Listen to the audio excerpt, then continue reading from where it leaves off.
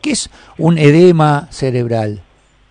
Mira, el eh, Sergio Denis cayó de una altura de 3 metros, golpeó con la parte izquierda eh, y se fracturó el hueso temporal, donde está puesta la oreja, para aparte de tener fractura de costillas, clavícula y homóplato, cuando se rompe lo que protege el sistema nervioso, el cerebro, que tiene las meninges, el hueso pincha adentro, rompe arterias, genera un traumatismo y el cuerpo reacciona con un edema inflamatorio. Ahora, como ese edema se hincha porque hay más plasma, comprime el sistema nervioso y es un cuadro grave, Eduardo, porque es una cavidad cerrada que es el cráneo. Por eso es tan grave el edema cerebral. Claro.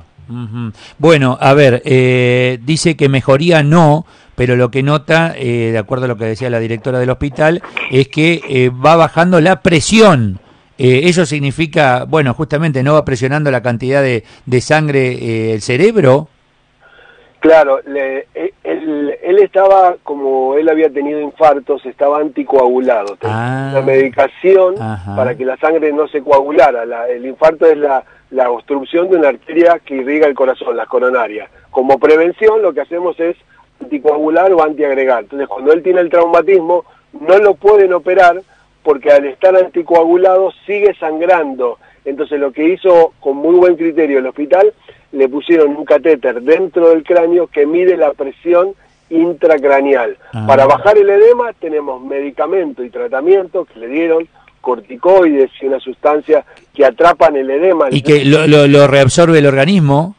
Lo va reabsorbiendo ah. el organismo, le ponemos glucosa muy concentrada a una sustancia que se llama manitol, que para que se pueda entender, es como una sustancia que atrapa agua, como si fuera un secante que absorbe. Por eso la, ahora la directora dijo que el edema está bajando en respuesta al tratamiento que le están haciendo desde ayer a las 21.45 que entró al hospital.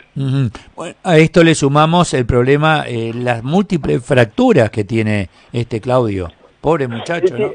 Él, tiene eh, más de cuatro fracturas, sí. Eh, Eduardo. Mm. Tiene fractura del temporal, o sea, se, se le rompió el cráneo, para que quede claro, se le rompió la clavícula porque pegó con el tórax izquierdo, el homóplato y varias costillas que le perforaron un pulmón y tiene también un neumotórax. Igual las lesiones más graves, Eduardo, son las del cerebro porque tiene hemorragias múltiples, así lo describe la, tomografía del cerebro que le hicieron, ah. con incluso como se rompió el hueso, y rompió las membranas que recubren el cerebro, que se llaman meninges. Ah. Eh, eso hizo que entrara aire a la cavidad craneana. Mm. Eh, y la verdad que es un cuadro eh, de suma gravedad. Y a ver, uno desconociendo y escuchando, bueno, la información y ahora te escucho a vos, etcétera, este, es realmente grave. aparentemente, y por las imágenes y por, por, por las heridas, cayó prácticamente de cabeza cayó de cabeza, no, no pudo, eh, no tiene ninguna señal de protección, no pudo poner las manos mm. porque a él lo sorprendió,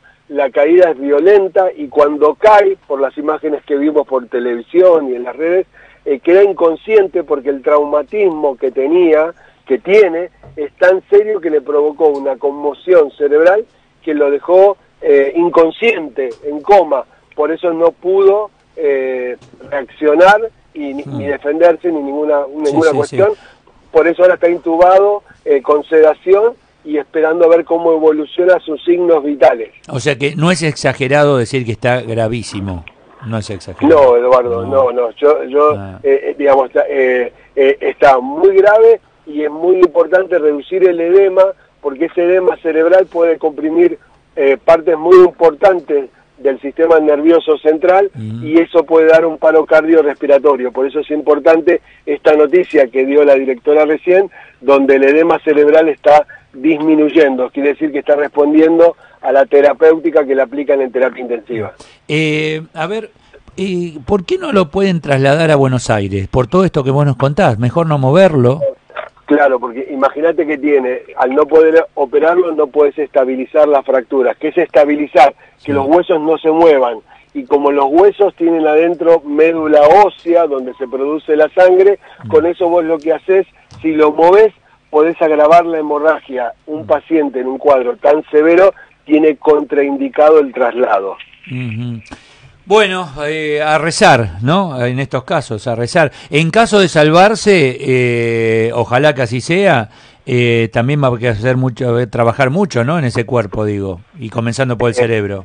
Sí, habría que ir paso a paso. Ah. él pelea por su vida, después habrá que tratar las secuelas neurológicas que queden. Ah. lo que tenemos que hacer es, como dijo la, la directora, estabilizar que su corazón y sus pulmones puedan eh, resistir, poder cohibir la hemorragia cerebral y después veremos qué lesiones quedaron en el cerebro y atenderemos esas lesiones. Pero hoy lo importante es que pueda seguir con vida, Eduardo.